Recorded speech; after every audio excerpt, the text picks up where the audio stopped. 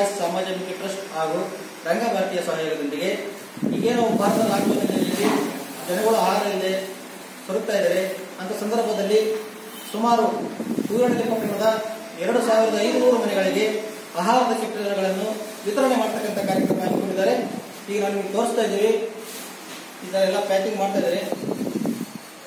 ಇವಾಗಂತ M P Prakash ಹಾಗೂ ಇವಾಗ M P ರೇಣು ಅವರ ಅಭಿಮಾನ ಮಾಡಿದವರು ತಾವು ತಮ್ಮ ಕೆಲಸ ಮಾಡ್ತಾ ಇದ್ದಾರೆ. ಈ ವಿಚಾರಕ್ಕೆ ಸಂಬಂಧಪಟ್ಟಂತೆ ಸಮಾಜ ಸೇವಕರಾದ ಭಾವಿನ ಕೊಟ್ಟರೆ ಇದ್ದಾರೆ. ಈಗ ಅವ್ರ ಈ ವಿಚಾರವಾಗಿ ಮಾತಾಡೋಣ. ಎಷ್ಟೋ ಮತ್ತು ರಂಗಭಾರತಿ ವತಿಯಿಂದ ಎರಡೂವರೆ ಸಾವಿರ ಮನೆಗೆ ಕಿಟ್ಟು, ತರಕಾರಿ ಮತ್ತು ಜ್ವಾಳ. ತರಕಾರಿ ಅಂದ್ರೆ ಟೊಮೊಟೊ ಬಂತು, ಬದನೆಕಾಯಿ ಬಂತು, ಈರುಳ್ಳಿ ಬಂತು, ಕ್ಯಾರೆಟ್ ಬಂತು, ಮೆಣಸಿನಕಾಯಿ ಬಂತು, ಸೌತೆಕಾಯಿ ಬಂತು. ಎಲ್ಲದರ ಒಂದು ಪ್ಯಾಕ್ ಮಾಡಿ ನಾವೇ ಮನೆ ಮನೆಗೆ ಹೋಗಿ ಮುದ್ದಾಗಿ ಮುಡಿಸ್ತೀವಿ ಮತ್ತೆ ಇದನ್ನು ಖರೀದಿನ ರೈತರಿಂದಲೇ ಮಾಡ್ತೀವಿ. ಯಾವ ಇದರಿಂದ ರೈತರ ಮನೆಗೆ ಹೋಗಿ ಖರೀದಿ ಮಾಡಿ ಅಲ್ಲಿ ಪ್ಯಾಕಿಂಗ್ ಮಾಡಿ ಮನೆ ಮನೆಗೆ ಮುಗಿಸುವಂತಹ ಕಾರ್ಯವನ್ನು ಎಂ ಪಿ ಪ್ರಕಾಶ್ ಅಭಿಮಾನಿಗಳು ಮತ್ತು ಎಂ ಪಿ ರೇವಣ್ಣ ಅವರ ಅಭಿಮಾನಿಗಳು ಮನೆ ಮನೆಗೆ ಮುಗಿಸ್ತಕ್ಕಂಥ ಕಾರ್ಯವನ್ನು ಮಾಡ್ತಾ ಇದ್ದಾರೆ ಪ್ರತಿನಿತ್ಯ ಎರಡೆರಡು ವಾರ್ಡಿನಲ್ಲಿ ಪ್ರತಿದಿನ ಎರಡು ಪ್ರತಿದಿನ ಎರಡು ವಾರ್ಡಿಗೆ ಇದು ಮಾಡಬೇಡಿ ಅದು ಮಾಡಬೇಡಿ ಅಂತ ನನ್ನ ಮಗಳಾದ ವೀಣಾ ಅವರು ಈ ಬಡವರಿಗೋಸ್ಕರ ಧಾನ್ಯ ತರಕಾರಿ ಇನ್ನೊಂದು ಮತ್ತೊಂದು ಎಲ್ಲ ಇದು ಮಾಡ್ತಾರೆ ಅವ್ರ ಯಜಮಾನ ಡಾಕ್ಟ್ರು ಕೂಡ ಪೇಷಂಟ್ಗಳಿದ್ದಾರೆ ಇನ್ನೊಂದಿದೆ ನೋಡಿ ಔಷಧಿ ಅದೆಲ್ಲ ತಂದು ಕೊಡ್ತಾ ಇದ್ದಾರೆ ನಾನು ಮನೇಲಿ ಕೂತ್ಕೊಂಡು ಅಷ್ಟೇ ನೋಡ್ತಾ ಇದ್ದೀನಿ. ಸಾಹೇಬ್ರ ಕಾಲದಿಂದಲೂ ಈ ಮೆಂತನ ಸೇವೆ ಮಾಡ್ಕೊಂಡು ಬಂದಿದೆ. ಅದು ಮುಂದುವರಿಲಿ ಅಂತೇಳಿ ಆ ಮಗಳು ಅದರಲ್ಲಿ ಪ್ರವೇಶ ಮಾಡಿದ್ದಾಳೆ. ಅವಳಿಗೆ ನೀವೆಲ್ಲರೂ ಸಪೋರ್ಟ್ ಮಾಡಿರಿ ಮತ್ತು ಬಡ ಜನತೆಗೆ ಸಹಾಯ ಮಾಡಿರಿ ಅಂತ ಹೇಳ್ತಾ ಇದ್ದೀನಿ.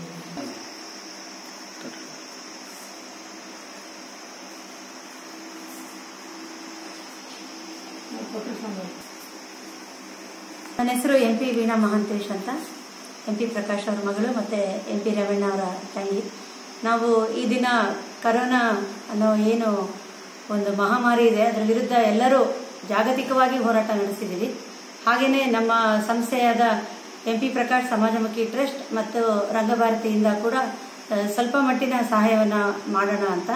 ನಮ್ಮ ಮೂಲ ಉದ್ದೇಶ ರೈತರಿಗೆ ಒಂದು ಯಾವುದಾದ್ರೂ ಮೂಲಕ ಸಹಾಯ ಮಾಡಬೇಕು ಅಂತೇಳಿ ನಾವು ರೈತರ ಹೊಲಗಳಿಗೇನೆ ಹೋಗಿ ಈರುಳ್ಳಿ ಖರೀದಿ ಮಾಡ್ತಕ್ಕಂಥದ್ದು ಮೆಣಸಿಕಾಯಿ ಖರೀದಿ ಮಾಡೋದು, ಟೊಮೆಟೊ ಖರೀದಿ ಮಾಡೋದು, ಕ್ಯಾರೆಟ್ ಖರೀದಿ ಮಾಡೋದು. ಅವರಿಂದ ಖರೀದಿ ಮಾಡಿರ್ತಕ್ಕಂಥ ವಸ್ತುಗಳನ್ನ ನಾವು ಉಚಿತವಾಗಿ ಜನಗಳಿಗೆ ತಲುಪಿಸುವಂಥ ಕಾರ್ಯಕ್ರಮ ಮಾಡ್ತೀವಿ. ಇದರಲ್ಲಿ ಎರಡು ಉದ್ದೇಶ. ಒಂದು, ಬಡವರಿಗೆ ಮನೆಗೇನೆ ತರಕಾರಿ ಮತ್ತೆ ಜೋಳ ಇದೆಲ್ಲ ತಲುಪಿಸುವಂಥದ್ದು. ಅದೇ ರೀತಿ ರೈತರಿಗೆ ಮಾರಾಟ ಮಾಡೋಕ್ಕೆ ತುಂಬ ಕಷ್ಟ ಆಗ್ತಾ ಇದೆ. ಹೊರಗಡೆ ಹೋಗೋಕ್ಕಾಗ್ತಾ ಇಲ್ಲ. ಆಮೇಲೆ ಕೂಲಿನೂ ಜಾಸ್ತಿ ಆಗ್ತಾ ಇದೆ ಮತ್ತೆ ಟ್ರಾನ್ಸ್ಪೋರ್ಟೇಷನ್ ಖರ್ಚು ಕೂಡ ಜಾಸ್ತಿ ಆಗ್ತಾ ಇದೆ. ಅದನ್ನ ಕಡಿಮೆ ಮಾಡೋಕ್ಕೆ ನಾವೇ ಅವ್ರ ಹೊಲಗಳಿಗೆ ಹೋಗಿ ಅಲ್ಲಿಂದಾನೇ ಸಾಮಾನುಗಳನ್ನ ತಗೊಂಡು ಕೊಡ್ತಕ್ಕಂಥದ್ದು.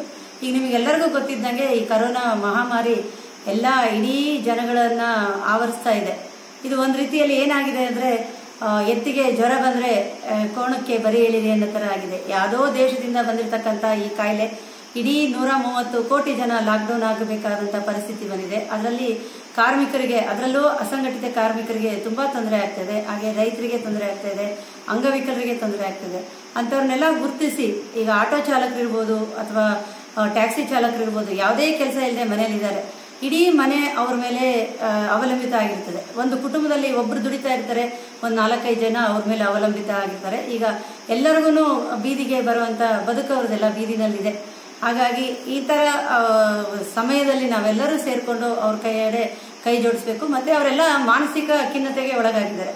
ಅದ್ರ ಜೊತೆಗೆ ನಗರದಲ್ಲಿ ನಗರಕ್ಕಾಗಿ ಕೆಲಸಕ್ಕೆ ಹೋಗಿರ್ತಕ್ಕಂಥ ಜನಗಳೆಲ್ಲ ವಾಪಸ್ ಹಳ್ಳಿಗಳಿಗೆ ಬಂದಿದ್ದಾರೆ. ಅವ್ರಿಗೆ ಮುಂದಿನ ಭವಿಷ್ಯದ ಬಗ್ಗೆ ತುಂಬಾ ಯೋಚನೆ ಇದೆ. ಏನಪ್ಪಾ ಇದು ಕಾಯಿಲೆ ಯಾವಾಗ ನಿಲ್ಲುತ್ತೆ? ಯಾವಾಗ ನಾವು ಮತ್ತೆ ದುಡಿಮೆಯನ್ನು ಸ್ಟಾರ್ಟ್ ಮಾಡ್ತೀವಿ, ನಮ್ಮ ಬದುಕು ಯಾವಾಗ ಹಸನಾಗುತ್ತೆ ಅನ್ನೋದು ಅವರು ಕಾಯ್ತಾ ಇದ್ದಾರೆ. ಅದಕ್ಕೆಲ್ಲ ನಾವು ಅವ್ರಿಗೆ ಮನಸ್ಥೈರ್ಯವನ್ನು ಕೊಡಬೇಕು. ನಾವೆಲ್ಲರೂ ನಿಮ್ಮ ಜೊತೆ ಇದ್ದೀವಿ ಅಂತ ಹೇಳಬೇಕು ಅಂತೇಳಿ ನಮ್ಮ ಎಂ ಪಿ ಪ್ರಕಾಶ್ ಸಮಾಜಮುಖಿ ಟ್ರಸ್ಟ್ ಮತ್ತು ರಂಗಭಾರತೀಯ ಎಲ್ಲ ಸ್ವಯಂ ಸೇವಕರು ಮತ್ತು ಬೇರೆ ಬೇರೆ ಪಕ್ಷಗಳ ಇವರು ಕೂಡ ಕೈ ಜೋಡಿಸಿ ನಮ್ಮ ಜೊತೆಗೆ ಕೆಲಸಗಳನ್ನ ಮಾಡ್ತಾ ಇದ್ದಾರೆ. ಹಾಗಾಗಿ ಎಲ್ಲ ಯುವಕರು ನಮ್ಮ ಜೊತೆ ಇದ್ದಾರೆ. ವಿದ್ಯಾವಂತರು ಇದ್ದಾರೆ ಕೂಲಿ ಕಾರ್ಮಿಕರು ಕೂಡ ಇದ್ದಾರೆ, ಆಮೇಲೆ ರೈತರು ಕೂಡ ನಮ್ಮ ಜೊತೆ ಕೈ ಜೋಡಿಸ್ತಾ ಇದ್ದಾರೆ.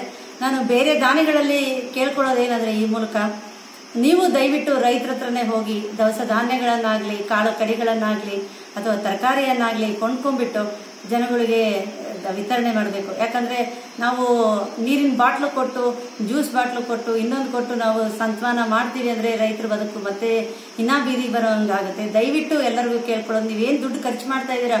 ಬಿಸ್ಕೆಟ್ ಪ್ಯಾಕೆಟ್ಗೆ ಕೋಲ್ಡ್ ಡ್ರಿಂಕ್ಸ್ ಬಾಟ್ಲುಗಳಿಗೆಲ್ಲ. ಅದನ್ನ ದಯವಿಟ್ಟು ತೆಂಗಿನ ಎಳ್ನೀರಿಗಾಗ್ಲಿ ಅಥವಾ ಒಟ್ಟು ರೈತರು ಬೆಳೆಯುವಂತಹ ಸಾಮಾನುಗಳನ್ನ ಖರೀದಿ ಮಾಡಿ ಅದನ್ನ ಫ್ರೀಯಾಗಿ, ಉಚಿತವಾಗಿ ಜನಗಳಿಗೆ ತಲುಪಿಸಿ ಅಂತ ಈ ಮೂಲಕ